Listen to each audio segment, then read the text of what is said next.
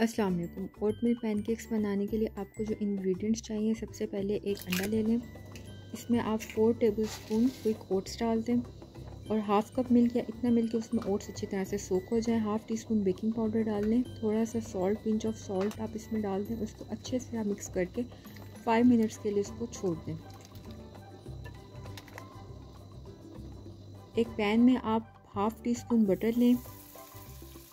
और इसमें आप दो से तीन पैनकेक्स ये वाले बना सकते हैं। आप चाहें तो इससे ज़्यादा बड़े साइज़ के भी बना सकते हैं, लेकिन इस मिक्सचर के, इस साइज़ के तीन पैनकेक्स आपके बन जाएँगे। और दोनों साइड से इसको लाइट गोल्डन कर लें।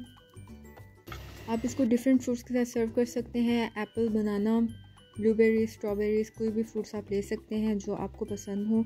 और ऊपर से आप इस पर शुगर सिरप भी डाल सकते हैं और हनी भी डाल सकते हैं। जैसे आपको पसंद हो, वैसे इसको बना के खाएँ।